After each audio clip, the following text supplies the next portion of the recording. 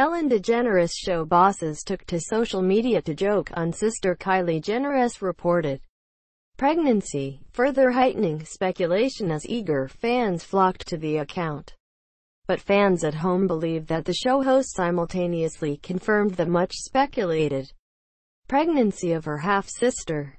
Rumors reached new heights when Anne, another fan shared their certainty, saying, they wouldn't he wrote if it wasn't true.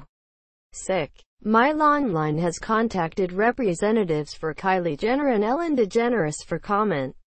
This latest remark follows on from months of swirling speculation, as keen fans called for the 20-year-old to put them out of their misery and reveal whether the rumors are true on social media.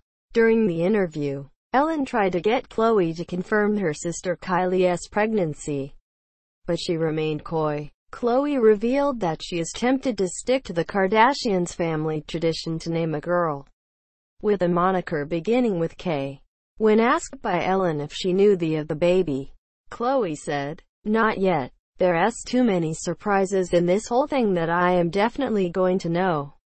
She did confirm that if her first child is a girl her name likely will begin with either AK, in keeping with Kris' legacy, or, in a departure, AT.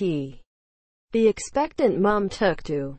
Khloe said she made her pregnancy announcement on Instagram because she wanted to write something heartfelt. It is hard for me to breathe right now but other than that, I am good, said Khloe who admitted being out of breath from walking to her seat on the stage.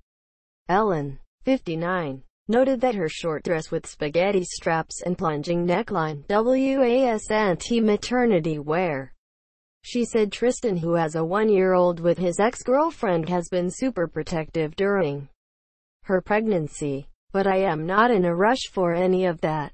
As you know, I have rushed quite a few things before, said Khloe who married ex-husband Lamar Odom in 2009 just one month after meeting him. I live a really normal life.